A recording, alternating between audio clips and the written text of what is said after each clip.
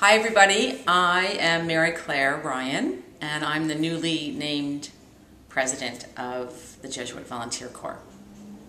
And I am feeling incredibly fortunate to be that person, um, and fortunate to welcome you to JVC. So we're new together, and I hope that you will receive, as I did, the most warm and wonderful welcome. Our work is great, it's important. Uh, we meet wonderful people every single day. We're with wonderful people every single day. We have this chance and we make this choice to do good and to be good, and we meet each other there.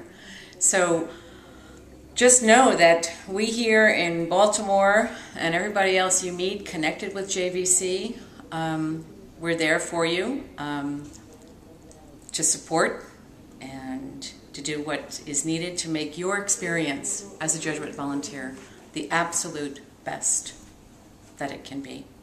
So throw yourself into it with joy and excitement and energy, and all will be well. Thanks.